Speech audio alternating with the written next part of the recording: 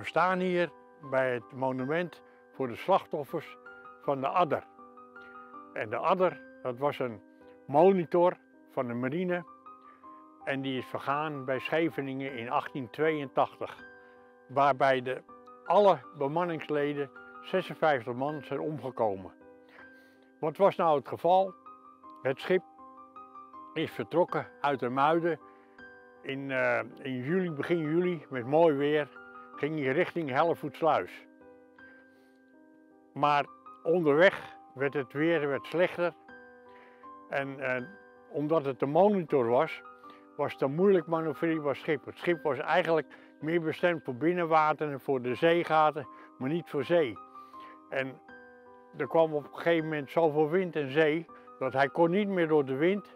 En hij slingerde zo, zodat het uh, op een gegeven moment ter hoogte van Scheveningen, een mijltje uit de kust, omgeslagen is.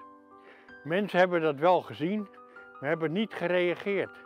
Want er was een visserman, ja, die was bezig met vissen.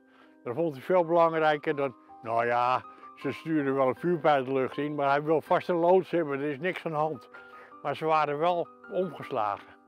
Pas een paar dagen daarna vond men de loods die in de Muiden aan boord was gegaan. Dat was uh, Duinker uit, uh, uit Den Helders vandaan. Die vonden ze drijven bij Zandvoort.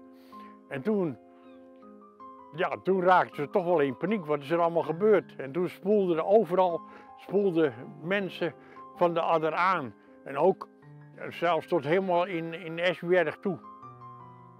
Wat was nou het geval? Het schip is vertrokken uit uh, Amsterdam, of uit de Muiden eigenlijk. Maar de commandant had zich niet gemeld bij de commandant van Amsterdam.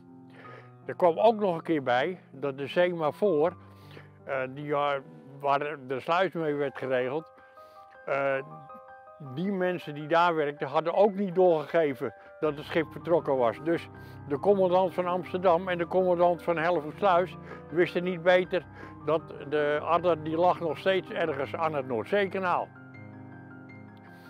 En ja, toen vond men al die lijken. En dachten, wat gebeurt er hier? Wat is er allemaal gebeurd? Maar het schip was gewoon niet zeewaardig. En er is een heel onderzoek over geweest. Ze hebben geprobeerd ook de loods Duinker uh, de schuld in de schoenen te schuiven. Maar ja, loods Duinker die voer alleen maar mee en die had niets met het schip te maken. En de commandant die was pas nieuw, die had nog, ook nog geen idee van wat het schip wel of niet kon.